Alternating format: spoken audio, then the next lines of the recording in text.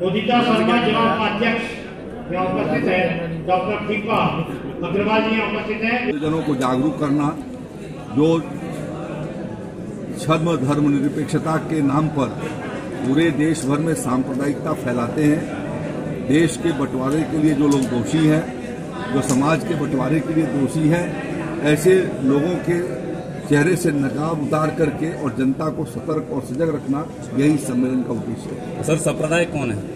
सांप्रदायिक वो हैं जिन लोगों ने इस देश को पूजा पद्धति के आधार पर धार्मिक आधार पर इस देश का बंटवारा किया जिन्होंने बंगाल का विभाजन किया जिन लोगों ने हिंदू भारत माता की धरती को बांट करके पाकिस्तान का निर्माण कराया जिन लोगों के द्वारा जो है वो निरंतर तुष्टिकरण की नीति के द्वारा एक समुदाय को के गैर कानूनी कार्यों को हमेशा संरक्षण दिए जाने की कोशिश होती है।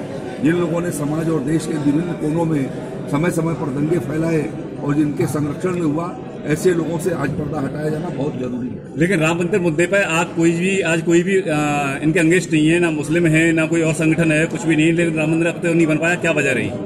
ये बहुत साफ़ और स्पष्ट है कि भारतीय संविधान के दायरे के भीतर हम वहाँ श्री राम जन्मभूमि का मंदिर बनाना चाहते हैं और जल्दी ही उसका रास्ता निकलने वाला है और वहाँ पर न्यायालय के निर्णय के बाद वो निर्माण होने वाला है।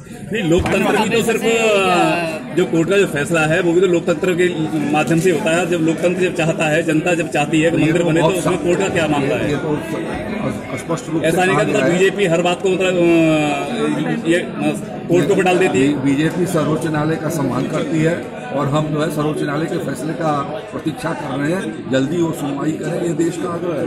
लेकिन पब्लिक